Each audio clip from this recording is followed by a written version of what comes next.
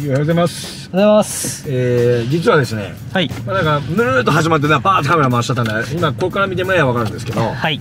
あの、YouTube をしてるおかげで、まあ、俺らのお客さんから、はい。ラジオの番組を持ってる人、はい。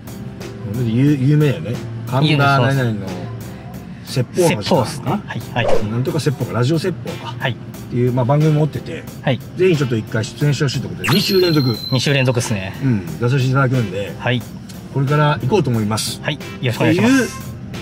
撮影だけど、はいもう終わったんだよ実ははい撮っちゃいましたねずっと始まっちゃってもう撮って今帰り道なんですけど ぜひちょっと本当ねあのなかなかこういうラジオの中に入れる機会ってないしないまあ許可な撮って、はいすごい厳しいあのセキュリティの中入ってってラジオスタジオはい。生放送もありのはい。を見させてもらって東海ラジオって本当有名だよ東海地区でそうですね、もう。東海レディオみんな一度は聞いたことあるぐらいのレベルですもんね。そうだろうね一番でかいとこ FM だろ東海ラジオってそうですね。入ってみようはい。行きましょう。あ、ここんにちは。よろしくお願いします。いや皆さん何のこっちゃわかんないと思うんですけど今日はなんとラジオの取材ですねはい。東海ラジオ東海ラジオですね。緊張しますね。こんなことなかなかないじゃないですか。すごいですね。ギャラをたくさんもんで自然量100万円ぐらいお願いします。よろしくお願いします。この東海ラジオっていうのは、えーまあ、CBC ラジオも一緒なんですけど約2000万人のエレがあるんですね,、はい。ね。でそこだけで今現在ラジコっていうのがあるでしょラジコ。あアプリがありますね。ラジコにポンとやればもうあくる日から1週間北海道だろうと九州だろうと全部聞こえるんですああ、そうなんですか。だから小林社長の、あこれ聞こうと思えうん、ここ声が喋ってることは全部できるわけです。だから今度関東にね進出する、はい。そういった時でもできるんですあそうですね。聞くんだから嘘を言ったりええ加減なこと言ってるとダメですよということ。あそうですね。ちょっといい加減しかそう塊みたいなもんなんですけど い今までの動画見てもらったら分かるんですけど。緊張するないやー、そうですね。なかなかないですので、こんなことは。参りましょう。はい。お願いします。あすいません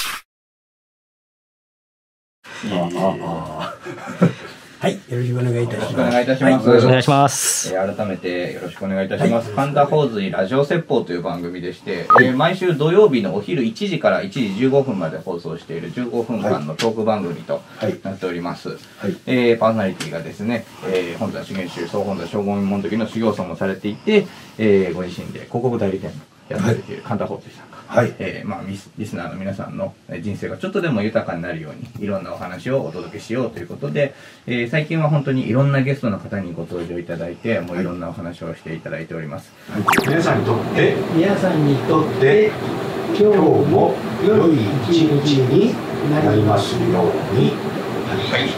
はい。はい、まあ、ざっくりになりますが、はい。よろしくお願いします。よろしくお願いします。ということで。はい。始まります緊張してる人のあの格好じゃないですよ、これ。またちょっと YouTube と違うそうですね。こんな機会めったにないんで、本当に。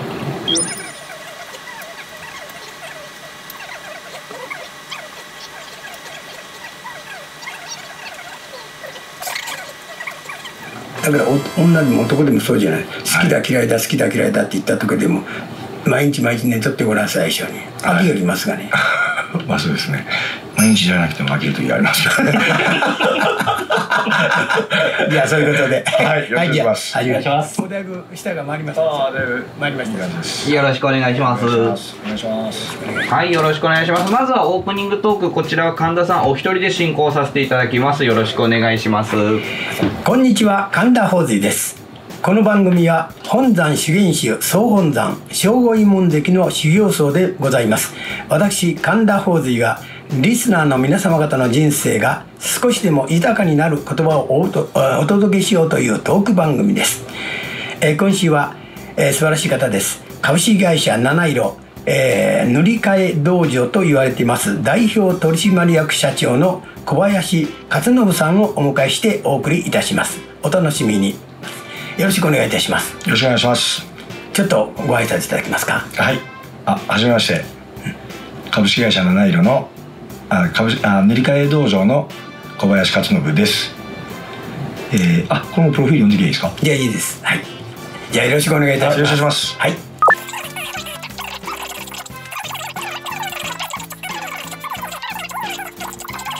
さあ小林さんすごいですね、ありがとうございます、えーいやいい言葉が書いてあるんで。いやいやそうじゃなくてね。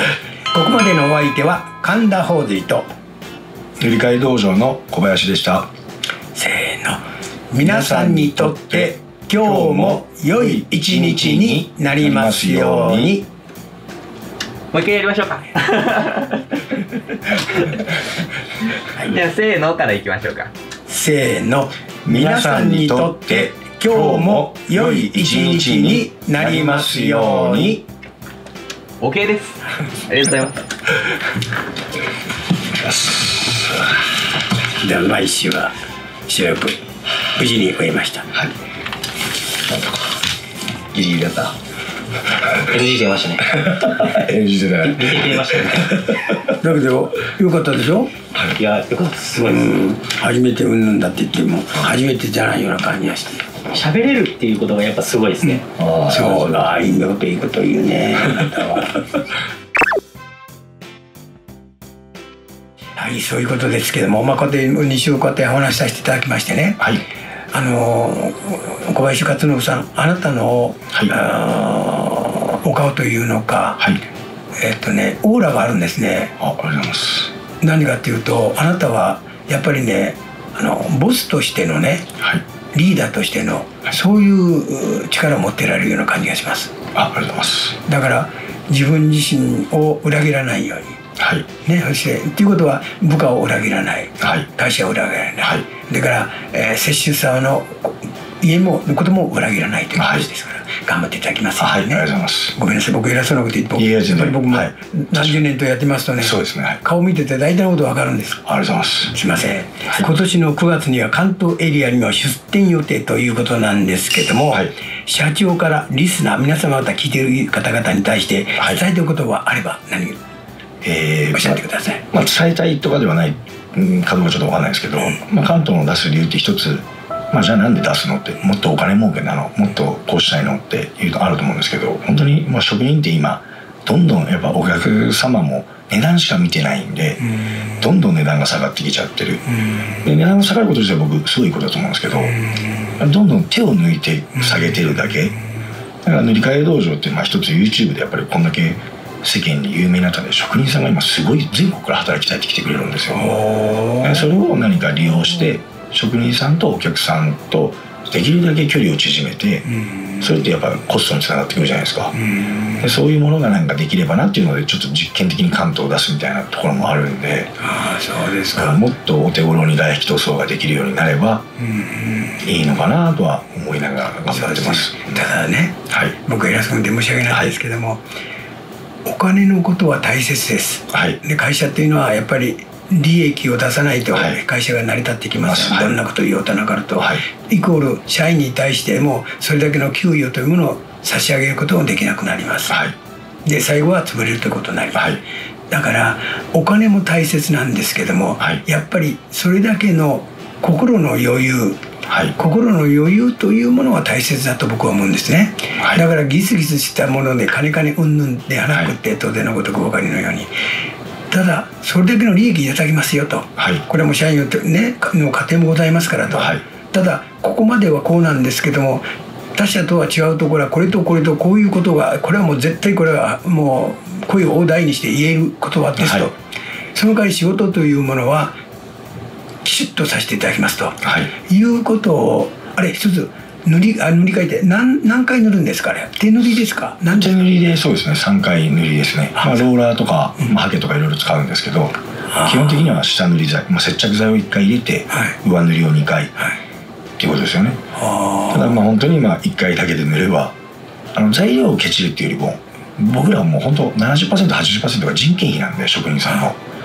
だからやっぱ3回を1回にするってことは材料をケチるっていうよりはなんかもう職人の手間を削ってるんですよ。それ1日2人で1日変わったらもう5万円10万円違ってくるんで2日抜けばもう本当に10万円。3日抜けば15万円値引いたって利益が出るんで。はい。というようなことでございますけど、まあ、これからですねまた大きな大きな夢を持ってそれこそ、えー、豊臣秀吉公の太鼓じゃないですけどなってください。頑張ります。ね。まあ、できるはずですから、はい。でその代わり初心忘れるべからずで、はい。私宝水とこのような東海ラジオでお話しさせていただくこと、絶対に忘れないように。かしこまりました。よろしくお願いします。はい。よろしくお願いします。はい。ありがとうございます。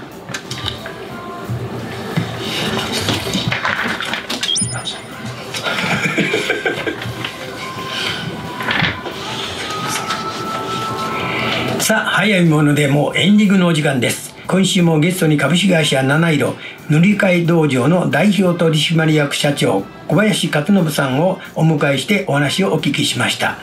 いかがでした？ね連続にしよう。いい経験をさせていただきました。ありがとうございます。ねえ。ということで今後とも頑張っていただきますよね。郵便番号461-8503東海ラジオ神田宝水ラジオ説法係番組の感想そしてほ最近ほっこりしたしたこと。そして先週に引き続いてこの、えー株式会社七色の塗り替え道場。大いとこうちのところでやってほしいなと思った方はぜひぜひ、えーたくさんのお便りをお待ち申し上げております。ここまでのお相手は神田宝水と塗り替え道場の小林でした。小林。あすいません。塗り替え道場の小林勝信でした。さあせーの。皆さんにとって今日も良い一日になりますように。もう一回やらせてください。わかりました今。せーの。皆さんにとって今日も良い一日になりますように。OK です。ありがとうございます。ありがとうございます。お時間取らせました。お疲れ様でございます 緊張しますね。YouTube を最初にやり始めた頃を思い出しますね。あそう。はい。やっぱまた違うことなんで。だけどこういう緊張はいいことでしょ？ああまあそうですね。またいい経験になってね。えまた自分に力がつくっていうか。そうですよ。どうもありがとうございました。ありがとうございました。お疲れ様でした。ありがとうございました。失礼します。失礼しますいや嘘です。ありがとうございます。ありがとうございます。いやー喋れるかいや全然でも初めてにしては喋れてると思いますけどね。マジか？番組やっちゃうかやりますか？まあ一歩一歩ねこうやって YouTube 皆さんのおかげでこうやってねみんながまあ応援してくれるおかげでね多分一と遠やからこうやって YouTube ができるなね。なかなかないですねこんなこと本当に。はい。うんまあそれは一つ嬉しいよなんかラジオに来るそうですね。いろいろ経験にもなったりするんで、まあ、ぜひまた皆さんあそうそう。最近ねチャンネル登録者があの再生数の割にチャンネル登録者なこれ。なあこれ。はい皆さん。あはい。りがとうございます。じゃあ。お疲れ様です。またねラジオとかテレビに出る機会もちょっとちょこちょこなんか出てるみたいなんで。はいぜひ応援のほどよろしくお願いします。お願いします。だね